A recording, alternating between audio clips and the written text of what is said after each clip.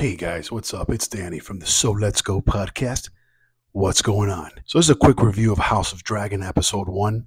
Let me tell you something this show knocked my socks off. The writing, incredible, just like the original Game of Thrones. CGI looked very good, had some practical effects. Get ready because there's some blood and guts already. Uh, some pretty difficult scenes to watch, too, unfortunate scenes, and also some great action scenes as well. All the characters look motivated and driven, and like they did in the last show, where there, there's some sort of agenda. They always have some sort of motive. Check it out for me. Nine out of 10, guys. Like, subscribe, hit the notification button. Thank you.